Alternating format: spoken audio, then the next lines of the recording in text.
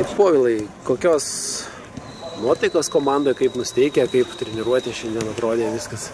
Tai treniruoti, tai, kaip sakant, prieš varžybinį lengva, truputėlį, truputėlį apšilom, truputėlį pajudėjom, su kamuoliu pajautėm aikštę, smagi greita aikštė, e, nuotaikos tai kovingos, nelabai turim ką prarasti, iš tikrųjų, tai reikia kabintis ir, ir, ir, ir bandyti daryti rezultatą, nes kitaip mes e, neturim kur traukti.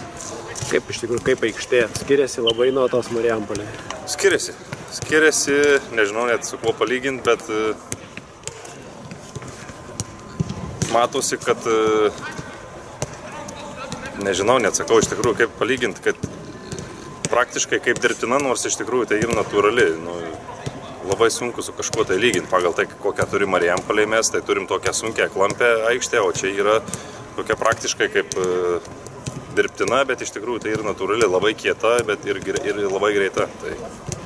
Galima tikėtis, kad kamuolys greičiau vaikščios rytoj negu... Jeigu greičiau stumdysim, greičiau ir vaikščios. Kažkur kokios išvados po pirmų rungtynių, ką reikia daryti, gal kitaip, kad geresnis tas rezultatas būtų?